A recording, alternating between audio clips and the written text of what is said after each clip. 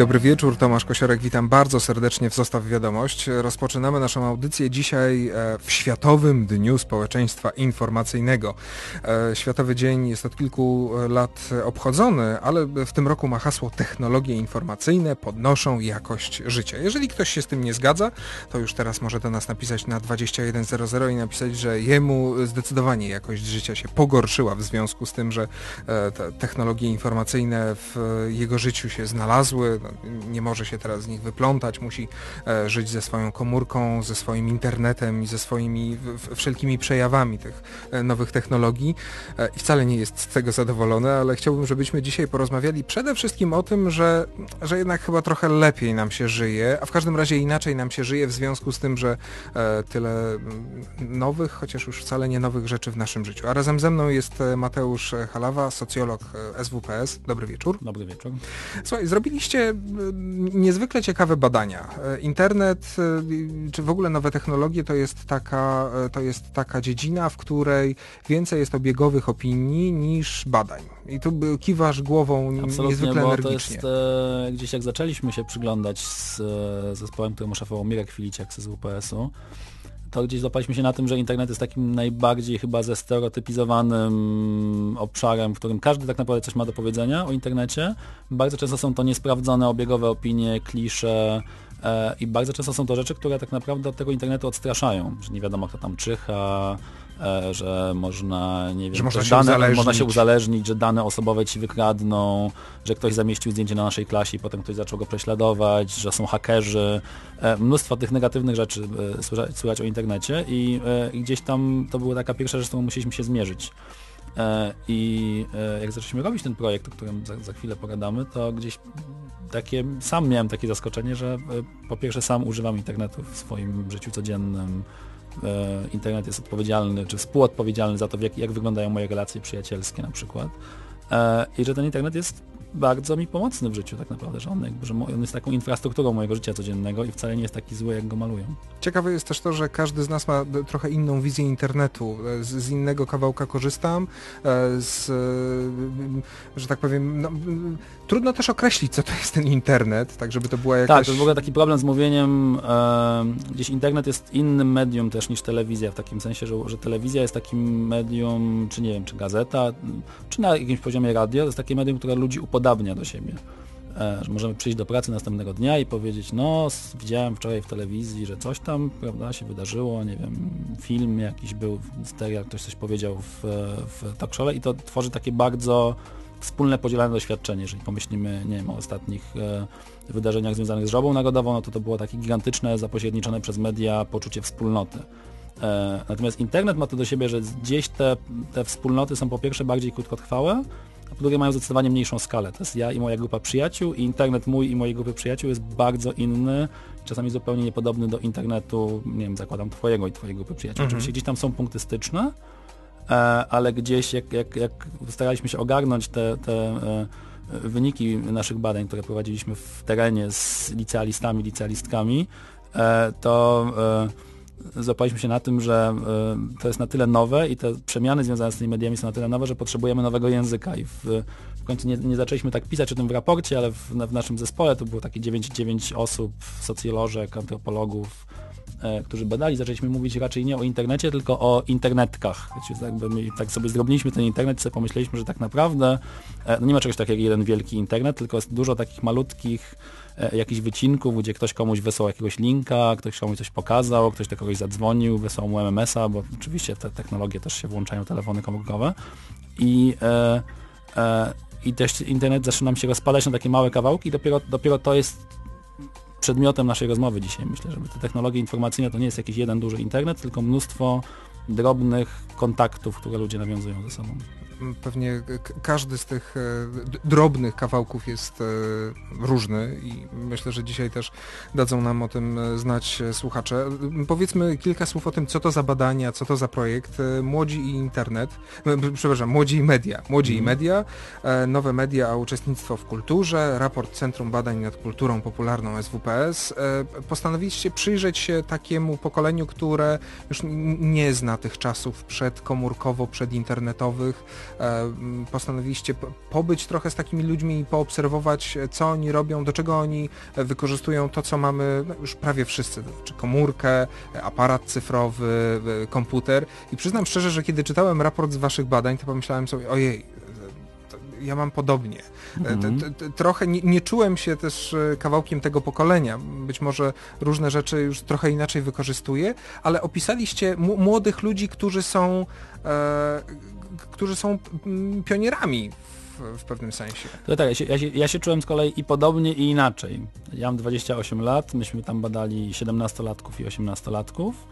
No i gdzieś to nie jest niby duża odległość i tak naprawdę gdzieś piszemy o tym też w tym raporcie, że Znałem te strony internetowe, po których oni chodzili, oni mm, częściowo byli na Facebooku i na naszej klasie, ja jestem na Facebooku i na naszej klasie, więc gdzieś tam było dużo tych podobieństw, a gdzieś się zapałem i po raz pierwszy chyba w życiu poczułem się staro rzeczywiście, bo się zapałem na tym, że oni po prostu nie znają innego świata, że gdzieś podstawowa mhm. różnica polega na tym, że e, rozmawialiśmy z 17-latką, która dla której internet był od zawsze i dla której telefon komórkowy był od zawsze. Znaczy, ja pamiętam, po prostu był. Po, po prostu był. Po prostu jakby, był. To jest takie przezroczyste jak powietrze. Ja pamiętam jeszcze ten moment, kiedy um, ja nagle się pojawił telefon komórkowy w moim życiu, ktoś go miał, ktoś go nie miał, z tym było związanych dużo jakichś różnych y, dziwnych sytuacji. Natomiast oni nie mają tego momentu zdziwienia. Ci nasi współpracownicy młodzi, e, e, to jest ich chleb powszedni. Poznaliśmy dziewczynę, która e, miała 17 lat i prowadziła właśnie swojego czwartego bloga w miarę jak zmieniała gimnaz, z gimnazjum na liceum, albo nie wiem, zaczynała się interesować innymi rzeczami, słuchać innego zespołu, to zmiana, zmiana bloga z jednego na drugi wydawała się czymś bardzo naturalnym, tak? Spotkaliśmy ludzi, dla których e, e, fotografia cyfrowa jest takim samym środkiem wyrazu i takim samym środkiem komunikacji jak e, rozmowa telefoniczna albo rozmowa twarzą w twarz, tak? I gdzieś E, im dłużej, e, e, ja dlatego, tak, dlatego opowiadam o tym w takim stylu trochę przygodowym, że poznaliśmy, spotkaliśmy, bo to, to, to co podstawowa rzecz, którą warto wiedzieć o tym badaniu, to jest to, że to jest badanie etnograficzne. I to jest badanie etnograficzne w takim bardzo starym tego słowa znaczeniu, jeżeli pomyślisz o, nie wiem, Bronisławie Malinowskim, który wsiadał na łódkę i płynął na e, odległe wyspy, żeby zobaczyć, jak tam tubylcy, do tych dzikich, jak tam tubylcy żyją, no to e, my oczywiście zupełnie inaczej, bo, bo zostaliśmy w Polsce tu i teraz, e, ale na jakimś poziomie mieliśmy poczucie, że zmiana kulturowa związana z nowymi mediami, z technologiami komunikacji jest na tyle silna, że musimy się rzeczywiście bardzo głęboko w tym nowym świecie zanurzyć, żeby znaleźć e, jakieś nowe sposoby mówienia o tym, że stare kategorie, e, takie jak takie telewizyjne kategorie, że są nadawcy i są widzowie, albo jak takie prasowe kategorie, że ktoś pisze, a ktoś czyta, że one nie przystają, że musimy gdzieś znaleźć nowe kategorie i spróbować sobie znaleźć nowy sposób mówienia o tym. E, I zrobiliśmy to tak, że pojechaliśmy w teren, mieliśmy sześcioro badaczy, którzy pracowali w trzech miejscach w Polsce. Przez dwa tygodnie. Przez dwa tygodnie. E, I te przez te dwa tygodnie rzeczywiście zanurzyli się e, bardzo dogłębnie w świecie nastolatków. Pracowali w takich bardzo partnerskich układach z licealistami, licealistkami. E, to, to było jedno małe miasto, jedno miasto takiej średniej wielkości, jedno bardzo duże wojewódzkie miasto, ze względu na anonimowość nie mówię, gdzie to było. I oni dali się wciągnąć tym młodym ludziom w ich świat. Jeżeli ci młodzi ludzie szli na imprezę, myśmy szli za nimi, za nimi e, e szli do lekarza. E, szli do lekarza, my też za nimi e, poszli do szkoły, ułożyliśmy to badanie tak, żeby złapać ostatni tydzień wakacji, czyli ostatni tydzień sierpnia i pierwszy tydzień września. E, więc mieliśmy taki, więc mieliśmy też, widzieliśmy taką sytuację, oni idą do szkoły. Zresztą ta szkoła, jeżeli ktoś czytał dzisiejszą gazetę wyborczą, która zaczęła taką bardzo dużą akcję, która się nazywa Szkoła 2.0, to gdzieś to jest osobny temat, o którym pewnie fajnie będzie później teraz porozmawiać. Ta, ta szkoła, która nie nadąża. Ta szkoła, która trochę nie nadąża, prawda?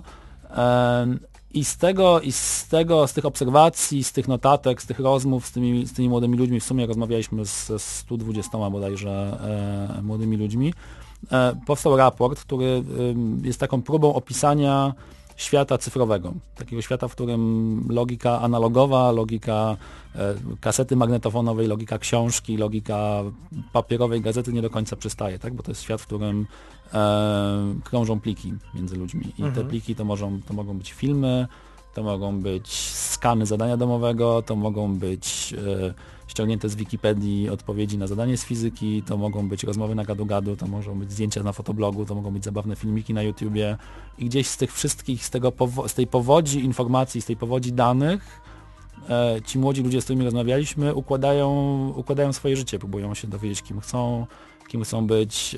E, tak naprawdę na jakimś poziomie ta historia, którą opowiadałem w tym, w tym raporcie, to jest historia em, taka jak każda inna. Znaczy, to jest historia młodych ludzi, którzy usiłują e, żyć, zacząć żyć, usiłują dowiedzieć się, co chcą w życiu robić, tylko to środowisko, w którym zaczynają to robić jest zupełnie inne, bo to jest środowisko cyfrowe. To jest taka historia, która e, przeczy mitom, przeczy tym złowróżbnym e, głosom, które mówiły, że ci ludzie jak wpadną w ten internet, to oni tam utkną, to oni już zupełnie nie będą mieli kolegów e, po- poza komputerem e, i tak dalej, i tak dalej. I chyba mam wrażenie, kiedy czytałem, wracały do mnie takie głosy, które słyszałem na początku lat d- 2000 czy pod koniec lat 90., e, k- kiedy słyszałem, że, że- to jest samo zło, natomiast Mhm. wy pokazujecie, jak, jak fantastycznie się ludzie bardzo często e, adaptowali do, do, do, do tych nowych warunków. My próbujemy opisać to trochę inaczej, takim naj... E, ja, ja byłem też, ten raport jest napisany przez kilka osób, e, Mirka Fliciak, Agaty Nowotny, Pawła Mazurka, Michała Danielewicza, e, ale ja byłem też redaktorem tego raportu, czyli gdzieś moja, moja rola polega na, na czytaniu i też takim patrzeniu na język trochę tego Mhm. raportu. E, I gdzieś wyrobiłem sobie w czasie pracy nad tym raportem e, głęboką niechęć do słowa internauta. E, Bo tak im dłużej patrzyłem na to i rzeczywiście jakby potocznie się mówi o użytkownikach internetu jako o internautach, ale jeżeli się zastanowimy nad tym słowem, skąd ono się wzięło i co ono znaczy, To, to, to jest taki kosmonauta. kosmonauta, tak? I, I teraz e, taki internauta to jest rozumiem osoba, która gdzieś wkłada jakiś kombinezon, odcina się od świata i gdzieś po prostu leci w jakiś odległy ląd na księżyc, e, nie wiem, drogę. Jakby to jest historia, która, którą zawiera słowo internauta, to jest historia zupełnego odcięcia się od świata, tak? No i gdzieś to jest mit, który musimy, usiłujemy złamać w tym raporcie. My pokazujemy, że to nie jest, e, że błędem jest myślenie o internecie jako o wydzielonej, odrębnej przestrzeni, do której się wchodzi i trzeba porzucić wszystko, co jest stąd. My raczej próbujemy e, opisać sieć jako coś, co nakłada się na naszą, na, na, na świat bezpośredni, tak? Że, że jest świat fizyczny i to nie jest tak, że jest jakiś wirtual i jakiś real, e, tylko raczej to są dwie wymiary tej samej rzeczywistości, tak? I gdzie pa- pa- patrzymy na ludzi, którzy bardzo skutecznie e, posługują się i jednym i drugim. Znaczy jakby myśmy rozmawiali z nastolatkami e, i e, no jak się jest nastolatkiem, to tak naprawdę najważniejsze jest bycie razem, e, trzymanie się za rękę z dziewczyną, poklepywanie się po plecach z kumplem, tańczenie, bawienie się i wszystkie te rzeczy. I to nie jest tak, że ten internet e, czy te technologie komputerowe, wbrew obawom rodziców, publicystów, e, nauczycieli, to nie jest tak, że te technologie cokolwiek zabierają z tej intensywności codziennego życia. No, no nawet w wielu sytuacjach mam wrażenie pozwalają siebie bardziej stworzyć, Mhm. e, co, co myślę dla, dla człowieka nastoletniego niezwykle e, istotne i takie newralgiczne. W tym bardziej stworzyć, inaczej zrozumieć, e, wręcz dodać intensywności kontaktom. Tak? Że to jest jakby, że te, historie, które e, e, opisywaliśmy, to nie, to nie były historie, w których gadu-gadu zastępowało komuś przyjaźń. To, było, to były historie, w których gadu-gadu uzupełniały komuś przyjaźń. Tak? Jeżeli nie możemy, nie możemy się widzieć e, z kimś, kto jest e, nam bliski, bo nie wiem, wyjechał na wakacje, jego rodzice wyemigrowali do Anglii, jak, z jakiegokolwiek innego powodu, nagle pojawia się technologia, która umożliwia podtrzymanie tego kontaktu. Ale o, o jakości tych kontaktów też będziemy mogli Mhm. porozmawiać, bo, bo to też był jeden z wątków, którymi się zajęliście. W geodezji technologia wypiera człowieka. Kilka lat temu zespół pomiarowy to 3-4 osoby, a w tej chwili jedna, dwie to cała firma. GPS, komputer i internet to sprawiły. E, No fantastycznie, tak? Tylko trzeba się umieć posługiwać Mhm. e, komputerem, internetem i GPS-em. A Witold pisze, że kto poznał internet, internet kiedyś, wierzę się, spostponował, by nie powiedzieć, że schamiał. No, hmm. Kilka słów o tym e, także w dzisiejszej audycji. 2100 to jest nasz numer SMS-owy, który doskonale znacie. E, płacicie za SMS tyle, ile za zwykłą wiadomość wysyłaną według taryfy waszego operatora, a zostaw małpapolskieradio.pl to jest nasz adres mailowy, z którego e, też korzystamy w naszej audycji. Mam nadzieję, że doskonale go znacie. A jeszcze jedna dobra informacja. Od przyszłego poniedziałku 100% zostaw wiadomość gratis. Będziemy nadawać od 23 do 1 naszą audycję i mam nadzieję, że już teraz zarezerwujecie te godziny dla nas. Polski internet to polskie zwierciadło, pełno w nim hamów i specjalistów od wszystkiego. A myślę, że to jest taki głos, który y, można i w internecie znaleźć. E, Na pewno. I, I, wiele takich, e, I wiele takich głosów, które w jakiś jeden chór się wpisują, ale takie SMS-y jak ten, a ja siedzę na balkonie i nie pada, bo to podlaskie, e, sugeruje, że to nie jest jedyny temat, którym dzisiaj możemy się zajmować. E, w sumie myślę, że przyjrzenie się SMS-om wysyłanym do Zostaw Wiadomość też byłoby ciekawym, ciekawym projektem badawczym. Na Drodzy pewno, słuchacze, jeżeli macie ochotę, można się... Rozkręcimy coś takiego. Można pracę magisterską na przykład napisać. Nie, nie tylko na SWPS-ie. E, razem ze mną w studiu Mateusz Halawa e, ze Szkoły Wyższej Psychologii Społecznej. Kiedy mm, przyglądaliście się tym młodym ludziom, niezwykle ciekawy jest raport. Można go znaleźć w sieci, można go przeczytać. Wiem, że już dzisiaj wolontariusze wrzucili go na stronę www.zostawwiadomość.pl, e, żeby można było tam poczytać to, co wam wyszło. Niezwykle ciekawe jest opisywanie konkretnych zachowań. Co ludzie robią, co ludzie robią z, z, z aparatem, do czego im służą opisy na gadu-gadu, mhm. E, do czego im może służyć e, Skype, no ale wy musicie z tego wyciągnąć jakiś wniosek. Co to znaczy?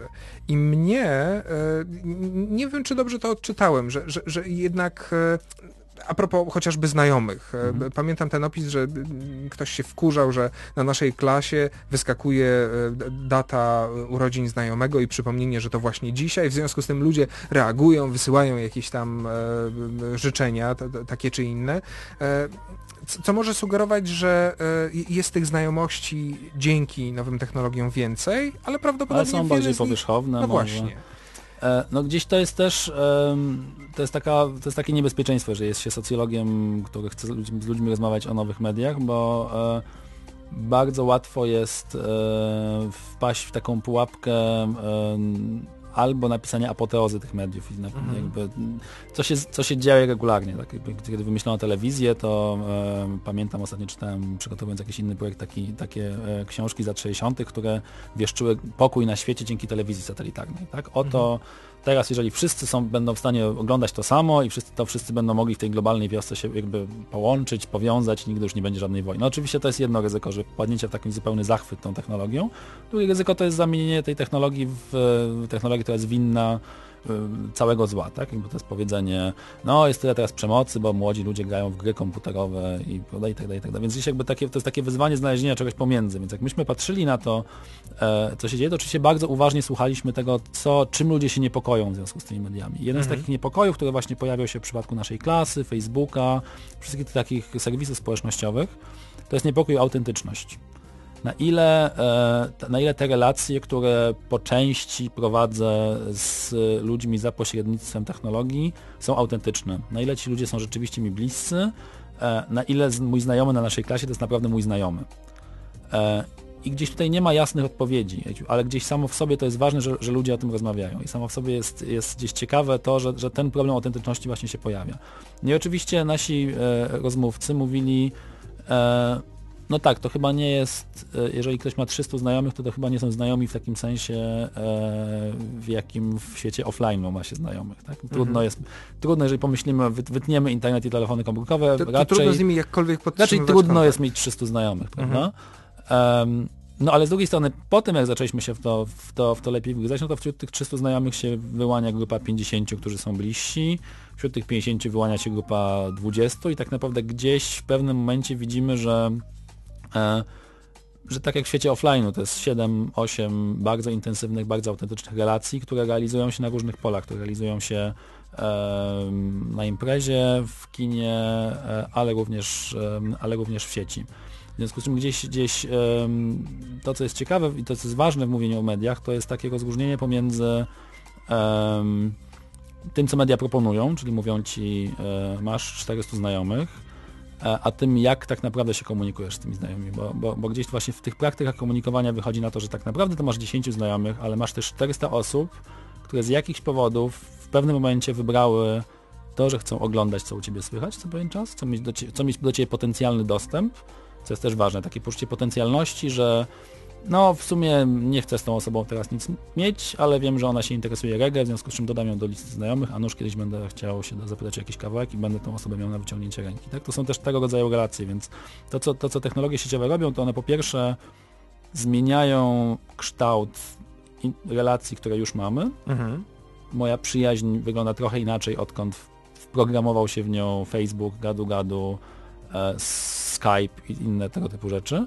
E, a z drugiej strony one tworzą e, nowe rodzaje relacji, tworzą nowe rodzaje, my to nazywamy za, za, za socjologami jeszcze z lat 70. E, siłą słabych więzi, że gdzieś te słabe więzi, które zazwyczaj nie miałyby szans przetrwać, otarłem się o kogoś na imprezie, ktoś mnie kiedyś o coś zapytał, ktoś mnie zagadnął przy jakiejś okazji, bez sieciowych technologii takich jak nasza klasa albo Facebook te sieci nie zostały, te, te, kontakty nie zostałyby zapamiętane. A tak, otarłem się kogoś na imprezie, odnajduję go następnego dnia na naszej klasie, jest, jest w mojej sieci społecznej. Jeszcze nie wiem, co z tym zrobię. To może być, to może się okazać zupełnie nieznaczące, ale to, że ta osoba jest, już samo w sobie ma znaczenie.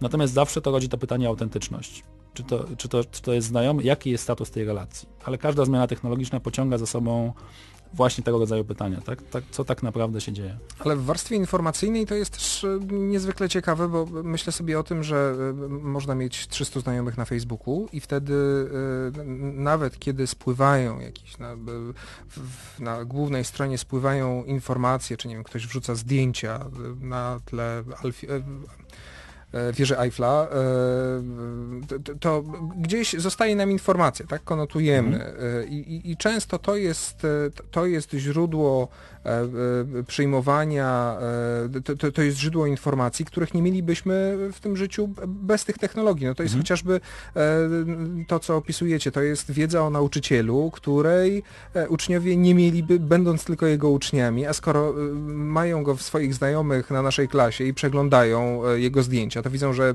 pani Marysia lubi grillować, za to pani mm. Kasia lubi sobie pojeździć na motorze w, w weekend. Absolutnie, te, to, ta historia zmiany kulturowej i społecznej, która jest, wiąże się z pojawieniem się nowych mediów, to jest historia e, e, z, zmiany granic. Znaczy, że kiedy, kiedyś e, we wcześniejszych czasach były w miarę jasne granice, które oddzielały życie prywatne od życia publicznego na przykład, albo oddzielały ludzi, którzy znaleźli się w relacjach hierarchii, na przykład ucznia od mhm. nauczyciela.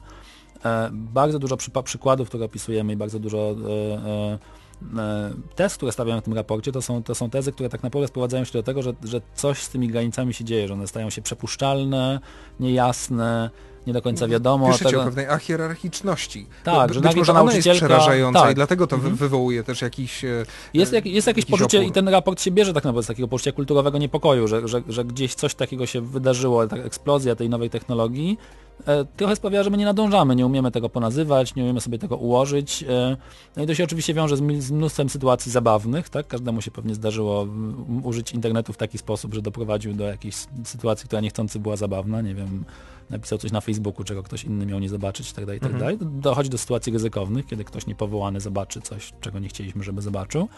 E, no ale też pojawiają się zupełnie nowe możliwości. Gdzieś na, na tym dla mnie jest też bardzo ważne, żeby o, o tym, e, e, zwłaszcza w Dzień Społeczeństwa Informacyjnego, międzynarodowy, światowy, światowy, światowy przepraszam, światowy. światowy. Dla mnie jest też ważne, żeby mówić o tym potencjale właśnie i, i, i tak, jeden z ciekawszych momentów, który się zdarzył dla mnie w, w czasie tego badania, i to znowu jest historia o przekraczaniu granic i o tym, że te granice, które kiedyś były bardzo silne, e, e, to się rozmywają. To jest taka sytuacja, w której nasz badacz, 30-paroletni socjolog, który od zawsze pasjonował się reggae, gra reggae w warszawskich klubach, ma niesamowitą kolekcję winyli. On jedzie w teren robić to badanie i spotyka 17-latkę, która też fascynuje się reggae. E, I nagle, ja pamiętam, rozmawiałem z nim przez telefon, to było niesamowite. I on, e, rozmawiamy, rozmawiamy i nagle wyszedł zupełnie z takiej roli e, socjologa, który tam sucho opowiadał o faktach i mówi, słuchaj, ja tej dziewczynie cholernie zazdroszczę po prostu. I gdzieś jakby nagle się okazało, że cała, jego cała opowieść o tym jest zbudowana na takiej jednej silnej emocji zazdrości, bo się okazało, że dzięki temu, że ta dziewczyna ma dostęp do sieci, że całe to reggae w MP3 nielegalnie, to prawda, krąży tam, ona wykonała pracę, e, którą, która jemu zabiera 5 lat w pół roku. Mhm. Czyli ona w ciągu pół roku nagle e, rozkminiła, poznała to wszystko i teraz jest DJ-ką w internetowym radiu, e, coś o czym on nie mógłby marzyć. Tak? Jakby to jest kolejna historia, w jaki, w jaki, w jaki sposób nowe media e, e, rozpuszczają granice, które oddzielały kiedyś amatorów od profesjonalistów, ekspertów od laików, e, gdzieś wszystkie te, wszystkie te opozycje, wszystkie te dychotomie gdzieś, ja nie mówię, że one się rozpadają zupełnie, natomiast gdzieś coś na linii e, tych podziałów się zaczyna dziać i to jest bardzo ciekawe. Pojawia się jeszcze hasło refleksyjność, ale chciałbym, mhm. żebyśmy się nim e, zajęli chwilkę później. E, we mnie ta technologia obudziła nową falę kreatywności. Czy dziś jest tak samo? Internauta, ubiera się w tej formie Witold, e, to twórca czy bierny biorca? E, no, mm, piszecie między innymi o tym, jak się ludzie skrzykują, tak? Wrzucajcie, -hmm. wrzucajcie fotki albo -hmm. róbcie zdjęcia. To są te wszystkie serwisy typu MySpace, które mam wrażenie podkręcają ludzką kreatywność. Jeżeli to można od razu wywalić do, do narodu i pokazać ludziom, co zrobiłem, to jednak to ludzi nieźle stymuluje. Takie mam wrażenie. Tak, rzeczywiście jest, e, jest łatwiej być kreatywnym. Z drugiej strony pewnie jest gdzieś trudniej być kreatywnym, dlatego że jeżeli jesteśmy otoczeni wszystkimi, którzy są kreatywni, to coraz trudniej się odróżnić. Tak? W związku z czym to jest trochę taki paradoks, że z jednej strony sieć wymaga od nas kreatywności, mhm. w takim sensie, że nie, nie da się, tak jak da się korzystać z telewizji po prostu ją oglądając, to do internetu zazwyczaj jakoś trzeba coś włożyć, jakby to może być bardzo drobna, że trzeba coś kliknąć albo nie wiem, coś nacisnąć i tak dalej. Zawsze ta interaktywność wymaga pewnego rodzaju kreatywności, dlatego mój internet zawsze będzie trochę inny od twojego internetu, mhm. bo gdzieś on będzie bardziej osobisty w tym sensie. Um, ale zdecydowanie um, byliśmy pod wrażeniem potencjału kreatywności, który, um, który sieć daje. To są, to są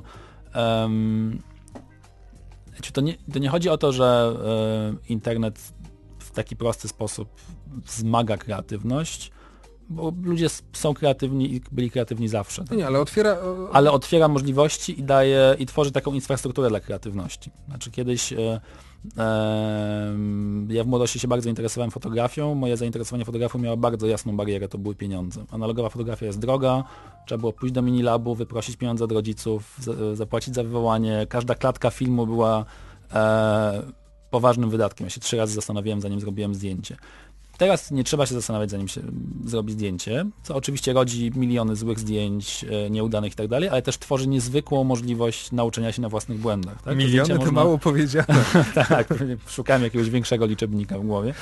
E, ale te zdjęcia można pokazać in, innym i inni mogą te zdjęcia skomentować. Dzięki temu moje następne zdjęcia i mamy taką sytuację opisaną w raporcie, kiedy pokazujemy społeczność ludzi, którzy rozmawiają o fotografii i uczą się od siebie nawzajem fotografii używając Digartu.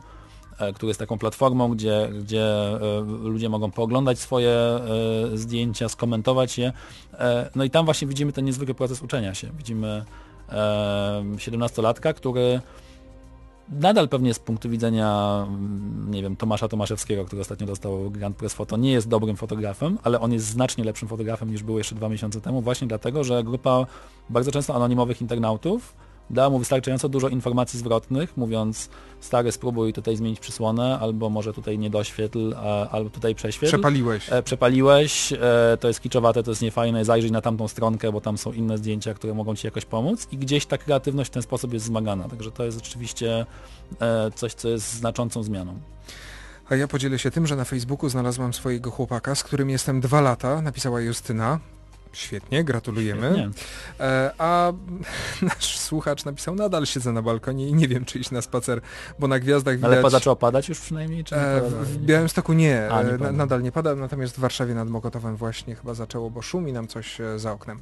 21.00, za chwilkę wracamy do rozmowy. Ktoś napisał, lepiej poruszcie temat demot demotywatorów. Na tej o, stronie jest wiele między innymi rzeczy o naszej klasie. Ja miałem nadzieję, że nad pewnymi rzeczami przy, zapadnie zapadnie taka e, litościwa cisza. No, ale to... Z demotywatorem jest ten ryzyko, że zaczniemy oglądać demotywatory i wtedy przestaniemy prowadzić audycję, bo się za bardzo wciągniemy, więc może... A, pewnie, pewnie oglądaliśmy na bieżąco, więc nie no, mamy co... E, okej, okay. za chwilkę wracamy do rozmowy. 2100. Czy w innej sytuacji mielibyście okazję napisać takiego SMS-a do osoby z Białego Stoku? Korzystaj chłopie z pogody, o której inni mogą teraz tylko pomarzyć. Słuchaczka z Zalanego Południa. Podpisano Ania. 2100. E, to, to, to niesamowite, zupełnie nie zauważamy tego, co się w naszym, w naszym życiu zdarzyło, co się zadziało. E, ja rzeczywiście pamiętam ten czas, kiedy trzeba było uważać na e, czas spędzony w internecie, ponieważ modem cykał i pobierał kolejne złotóweczki i potem trzeba było tłumaczyć się gęsto przed rodzicami, kiedy rachunek był taki, że można było tapetować nim mieszkanie. Natomiast napisaliście w swoim raporcie, w raporcie z badania Młodzi i Media, e, między innymi o refleksyjności i ciekaw jestem, co się za tym terminem kryje w tym, w tym kontekście, no bo czy rzeczywiście jak gdyby można to odczytać jako e, skłanianie do większego zastanawiania się nad tym, co się ze mną dzieje? To jest... Um może nie najszczęśliwsze słowo, bo czasami tak jest w pracy socjologia, że ma się jakąś intuicję, która gdzieś tam się to czuje i trochę, ale trochę nie wiadomo właściwie jak to powiedzieć, więc mm. może e, gdzieś zamiast brnąć w jakieś takie teoretyczne rozważanie, co to mogłaby być refleksyjność, to, to, to może podam kilka przykładów, które gdzieś mnie naprowadzają na ten mm. trop. Um, to są na przykład takie sytuacje, kiedy widzimy młodych ludzi, którzy um, jadą nad rzekę, żeby spędzić trochę wolnego czasu, jest ostatni dzień wakacji. E, i fotografują. I fotografują cały czas. Jakby są, są, są, jednocześnie, są jednocześnie nad rzeką, e, piją piwo, rozmawiają, przyjaźnią się, wskakują do wody, ale jednocześnie robią zdjęcia i jest w tym robieniu zdjęć jakiś taki moment, w którym oni, świadomie lub nie, nie wiadomo, ale e, planują przyszłe wspomnienia. Znaczy, że oni gdzieś, gdzieś w tym fakcie, że oni jednocześnie są w tym, tej sytuacji i rejestrują tą sytuację, E, jednocześnie przeżywają i archiwizują w tym samym momencie, w związku z czym oni gdzieś starają się pracować estetycznie, żeby wiedzieć w jaki sposób za kilka dni wrócą do tego momentu. Tak? To, jest, to jest jedna taka przesłanka, która sprawiła, że zacząłem gdzieś myśleć i, zaczęliśmy rozmawiać w zespole o, o jakimś rodzaju refleksyjności. Tak? Czyli mhm. taka refleksyjność w sensie zwrotności, że coś jest e, tu i teraz, ale od razu jest zrobione z myślą e, o tym, że, że, że później coś z tym będzie robione. Inny dobry przykład refleksyjności to jest e, no to jest sama architektura internetu, tak? czyli to, że jeżeli że cokolwiek zrobimy w internecie, e, w jakimś stopniu prowokuje odpowiedź z zewnątrz. Czyli, to, czyli to, to, internet nie jest środowiskiem ludzi wołających na puszczy. Internet jest środowiskiem ludzi, którzy aktywnie tworzą sobie publiczności dla różnych rzeczy.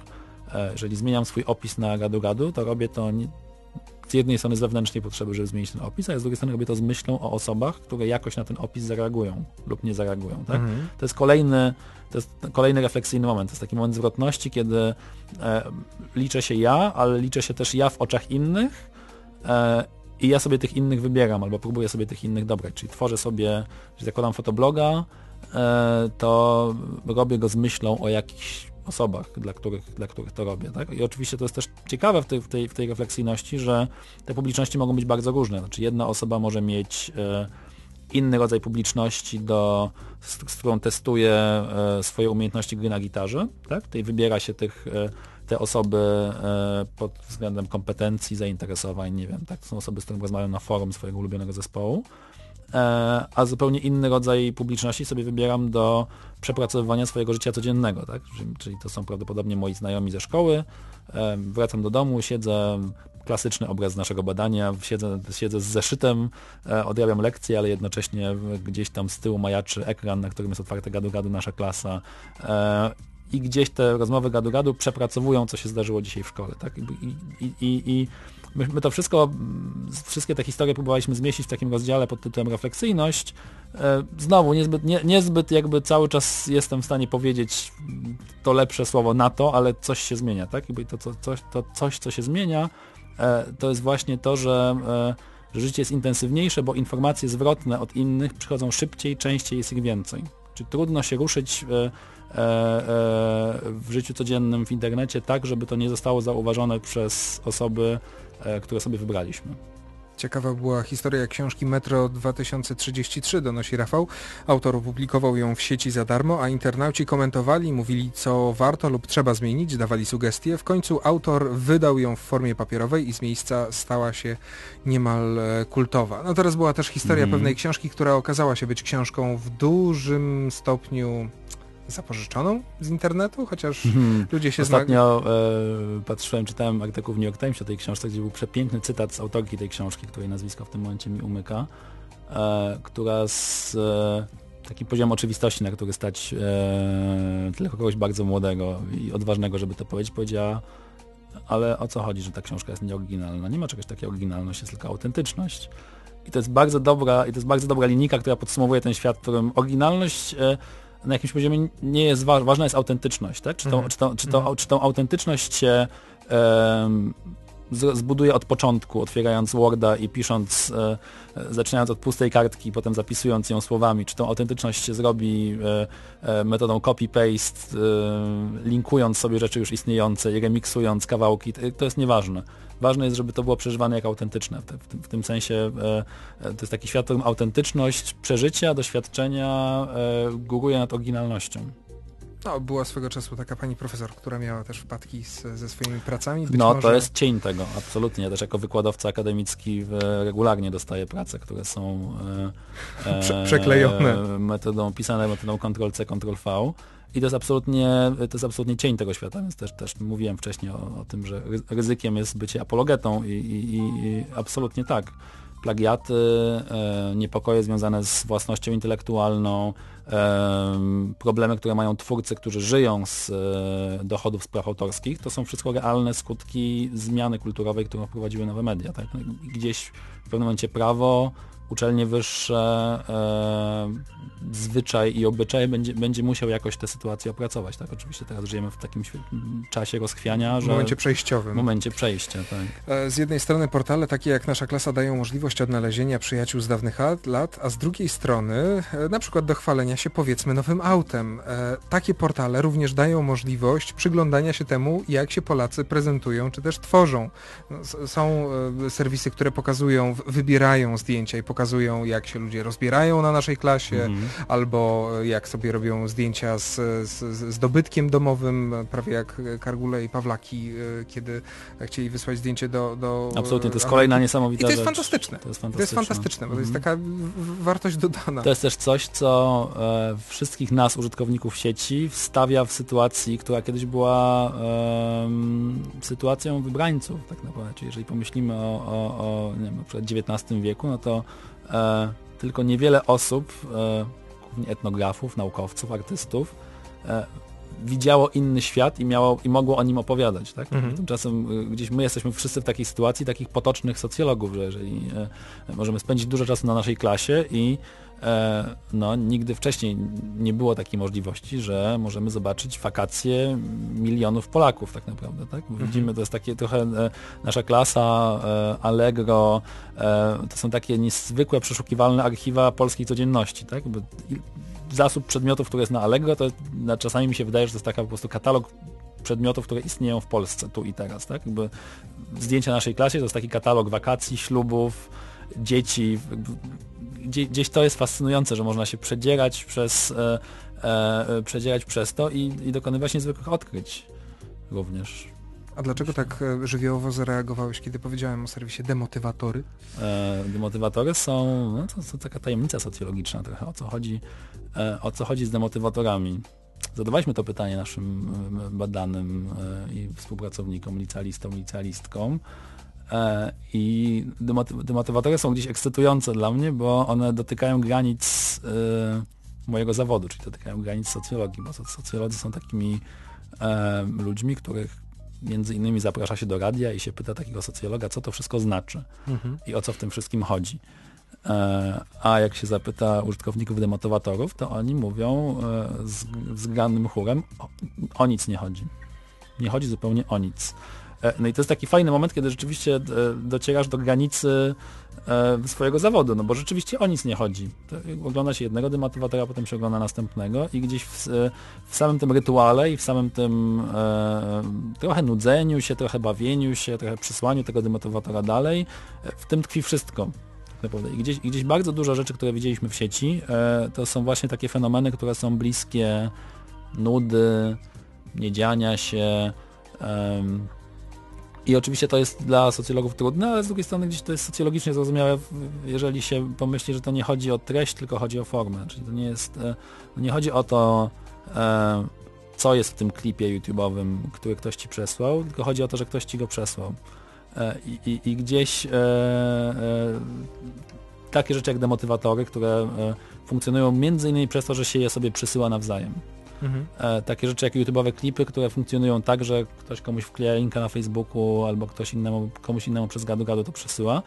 Mm, Gdzieś widziałem, że ktoś użył takiej kiedyś metafory takiego iskania, tak? że no, widzimy takie małpy, które się tak e, budują sobie relacje społeczne, tak się iskają, że ja cię, ja, ja cię tutaj trochę drapnę, ty mnie trochę drapniesz, że to są takie w sumie bardzo małe, nieznaczące gesty, e, ale relacje społeczne się trochę, są trochę złożone z takich gestów. To jest takie małe coś za coś, ja ci wyślę linka, ty mi wyślesz linka, e, ja zobaczę jakiegoś demotywatora, opowiem o nim tobie, pośmiejemy się razem. To są takie bardzo drobne praktyki, które pokazują, że, że bycie w internecie wcale, mimo że wygląda tak, że si- siedzą ludzie pojedynczo, osobno pod ekranem, przed, przed ekranami, oni wcale nie są zatomizowani.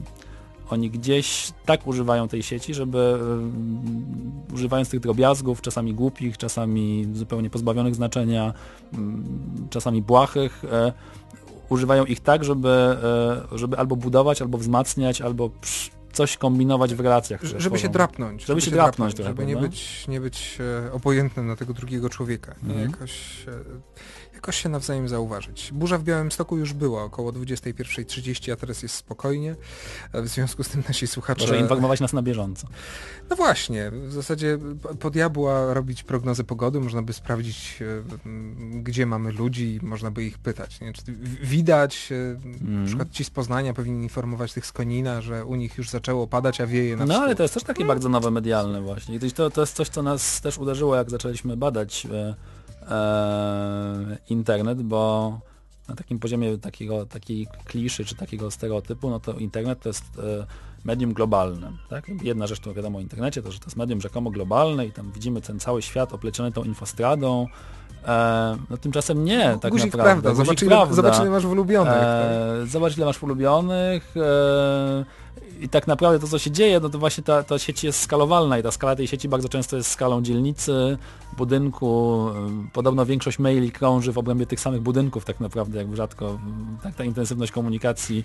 Dominik Batorski kiedyś badał komunikację w gadu-gadu, tak? To są znowu, te sieci są bardzo gęste, w takim sensie, że komunikacja pomiędzy ludźmi jest bardzo intensywna.